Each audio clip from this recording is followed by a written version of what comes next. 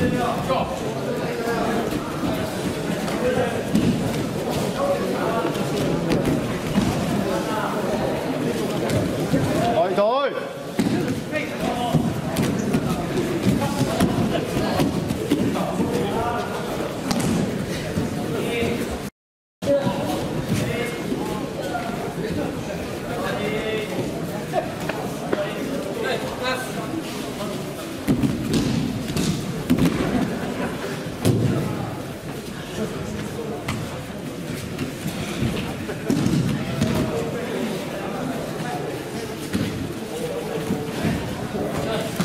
て分かんなくてもうでなんだったっけなフォレストと1億人のための英文法とあと夢文とかなんかその英文法を勉強し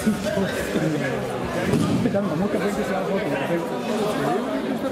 聖書のシェイクスピアのシーベイト全部は読んだんですね。で、シェイクスピアの、まあ、なんていうかな、それでもやっぱり、あの、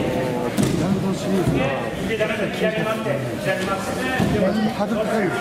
2年ばかりで読んであようやく読んだ読みましたでで映画映画もう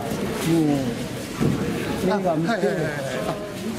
あ、あ。のシーンがこう言ってんだなと思いながらこうで別に映画の最近見てもいいんだあの